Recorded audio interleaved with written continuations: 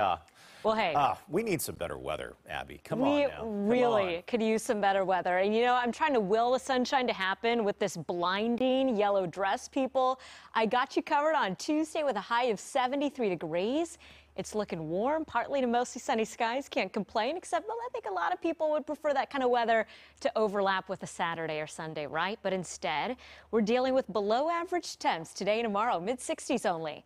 I think today rain won't be as widespread as what we saw last night, but today we've got a better possibility for small hail, gusty conditions, maybe even some strikes of lightning.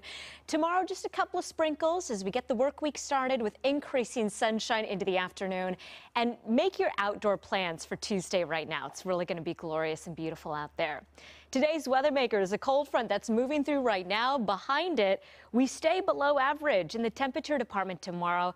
And again, after that cold front passes, we'll have a couple of areas of light rain early tomorrow morning, but nothing that's expected to be too organized or widespread.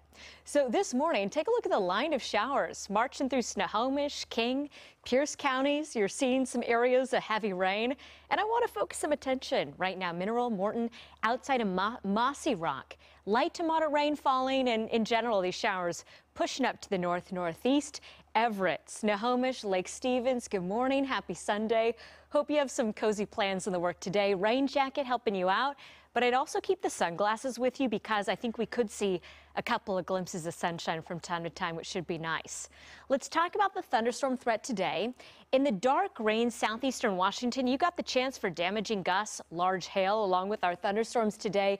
Everybody else in light green included in the risk for some weak storms. So there still could be some small hail and dangerous lightning, but we're not expecting any severe thunderstorm warnings. So just wanted to make that distinction there.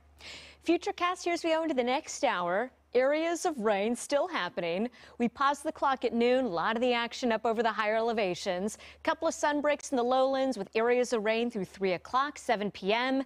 Some of that rain focused up over the North Sound. Into 10 o'clock tonight, I think the chance for lightning drops, and that's because the sun will have set by that point in time. Temps today, wow, only in the mid 60s out there. That's what we're expecting tomorrow. A high of 73 degrees on Tuesday. I cannot wait. Isolated showers Wednesday, Thursday, maybe an atmospheric river event on Friday. I thought we were done with those for the year, with some fewer showers on Saturday. We're going to have more on those high temps for you, Brian, coming up next.